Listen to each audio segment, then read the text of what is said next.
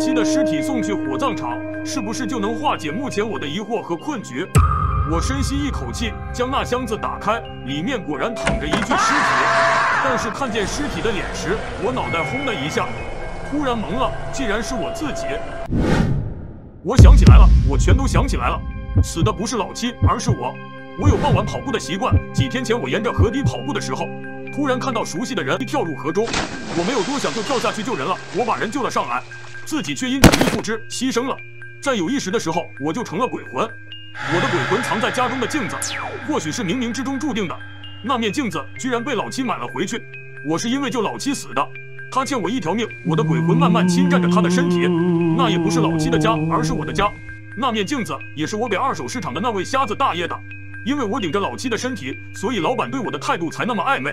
关注小七，下个故事更精彩。